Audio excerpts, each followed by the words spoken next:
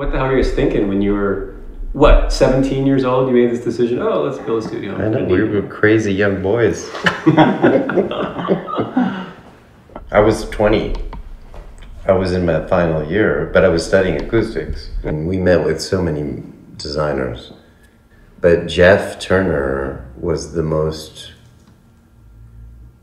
pure acoustician that we met. And my dad,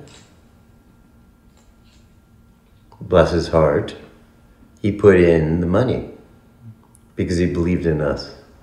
And so we embarked on this crazy ambition. and it kind of worked out. I'm proud of what we did. I was doing Jerry Cantrell's music when he was like 14.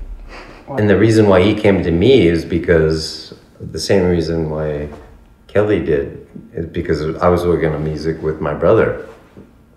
And that's why they all came. When I produce something, I'd like to do something groundbreaking or so, in some way. So push the boundaries.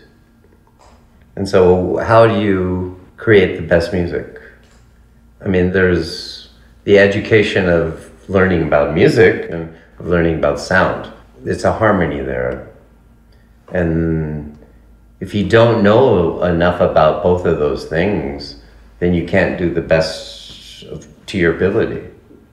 And that was what my ambition was.